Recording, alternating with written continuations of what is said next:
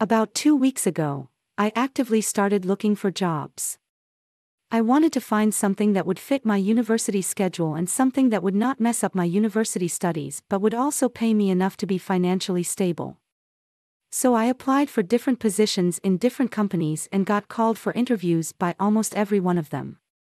I had been doing self concept affirmations alongside affirming, I am lucky, wealth and opportunities come my way, etc., but yet I could not find anything that I would like.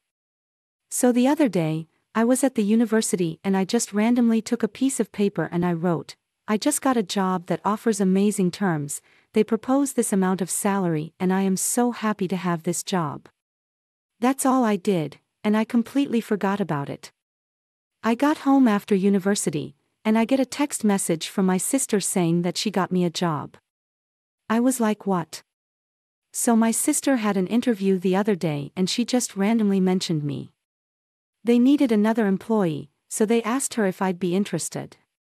I had an interview two days ago and they hired me.